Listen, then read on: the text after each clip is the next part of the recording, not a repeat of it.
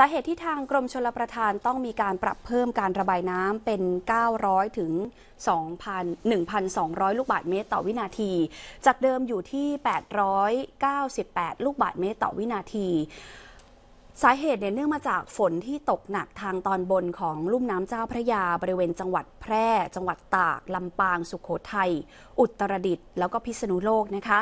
ส่งผลให้ปริมาณน้ำจากแม่น้ำปิงวังยมน่าน แล้วก็ลำน้ำสาขาเนี่ยไหลลงสู่แม่น้ำเจ้าพระยา เพิ่มขึ้นอย่างต่อเนื่องค่ะ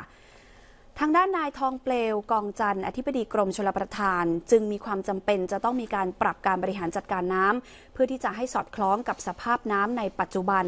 และเตรียมรองรับสถานการณ์น้ำที่จะเกิดขึ้น ประกอบกับจากการคาดการณ์ของทางกรมอุตุนิยมวิทยา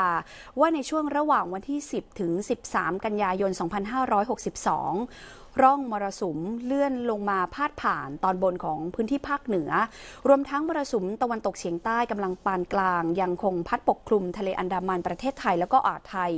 จึงทำให้จะมีฝนเพิ่มมากขึ้น แล้วก็อาจจะเกิดการสะสมปริมาณน้ำมากขึ้นด้วยค่ะทั้งนี้ปัจจุบันมีปริมาณน้ำไหลผ่านเขื่อนเจ้าพระยา ณ วันที่ 8 กันยายน คือเมื่อวานนี้นะคะ อยู่ที่ 898 ลูกบาทเมตรต่อวินาที กรมชลประทานจะเพิ่มปริมาณน้ำที่ไหลผ่านเขื่อนเจ้าพระยา ให้อยู่ในเกณฑ์ 9,000 900 ถึง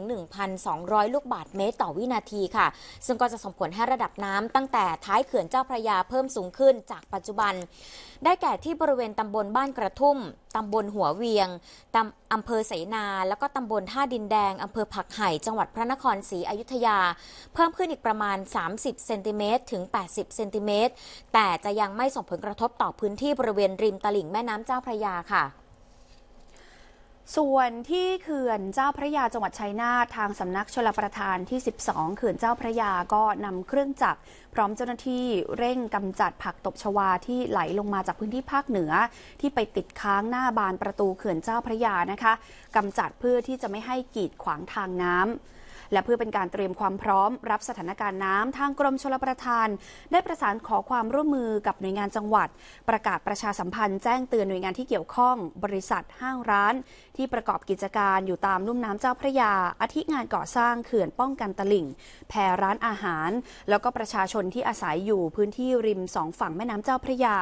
ให้เฝ้าระวังแล้วก็ติดตามสถานการณ์อย่างใกล้ชิดนะคะ และรับทราบข่าวสารจากทางหน่วยงานราชการเท่านั้น